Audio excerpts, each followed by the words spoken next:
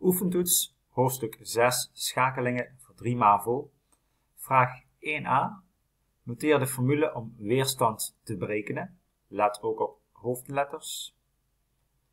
1b. Wat is de eenheid van weerstand? 1c.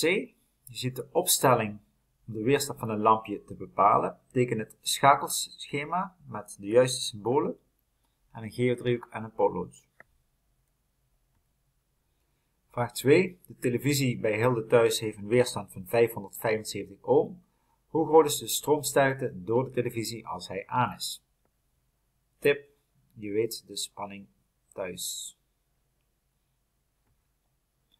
3. Achter in je boek staan vaardigheden. Vaardigheid 7 gaat over de kleurcodes van weerstanden. Ga nou eens na dat de weerstandswaarde ook echt daadwerkelijk 22 ohm plus of min 5% is van rood, rood, zwart, goud. Wat is de betekenis van die gouden ring eigenlijk? Vraag B. C. Leg uit hoe groot de maximale waarde van de weerstand kan zijn. Bereken dat. 4. Helene wil een draadweerstand van 30 ohm maken. Ze heeft een rolletje weerstandsdraad met een weerstand van 4 ohm per meter Hoeveel meter van de draad moet Helene gebruiken? Schrijf een berekening op. 5a. Leg uit wat er gebeurt als de batterij 9 volt levert en het lampje geschikt is voor 6 volt. Nou, dat gaat niet goed. Daarom hebben ze een voorschakelweerstand hier gezet. Leg net uit wat hij dan precies doet. 6a. Hoe heet dit componentje hier, waar die lamp op schijnt?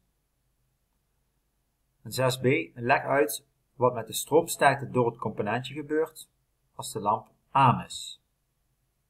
Uh, sorry, als die uitgaat. Situatie 2. C. Noem een toepassing van dit componentje. 7a. Wat betekent de afkorting NTC? 7b. Normaal gesproken wordt de weerstand groter als een weerstand warmer wordt. Maar bij een NTC is het omgekeerd. Vandaar die N. Hoeveel neemt de weerstand van de NTC af als de temperatuur stijgt van 10 naar 90 graden Celsius? 8. Egbert en Rick hebben de lichtsterktemeter van vraag 23 gebouwd deze. De batterij levert een spanning van 3 volt. Ze meten de lichtsterkte in de felle zon. De stroomsterkte door de meter is dan 0,22 ampère. Bereken hoe groot de weerstand van de LDR op dat moment is. Werk met gegeven gevraagd oplossing. B. Later op de dag meten ze de lichtsterkte opnieuw.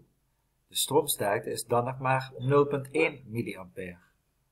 Bereken hoe groot de weerstand van de LDR op dat moment is. Dat is mijn hond. 9a. Wat is hieronder afgebeeld? 9b. Leg uit wat het voordeel is vergeleken met een gewone schakelaar. 9c. Leg uit waarom dat gebruik hiervan veiliger is dan een gewone schakelaar. En 9d, leg uit waarom het gebruik ervan kostenbesparend kan zijn. 10. Leg in stappen uit waarom de lamp in de rechter situatie uitgaat. Gebruik de woorden spoel, anker, breekt contact bij je uitleg. Dus hier gaat de lamp uit, als de schakelaar open is. Open is. Leg uit waarom.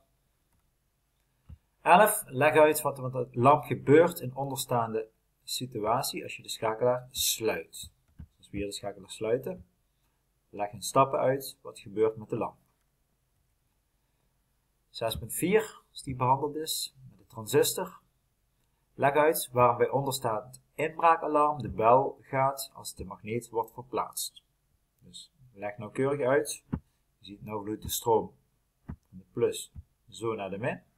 Leg nou eens uit hoe de stroom vloeit en wat er gebeurt als je magneet weghaalt, bijvoorbeeld een deur openmaakt bij een inbraak.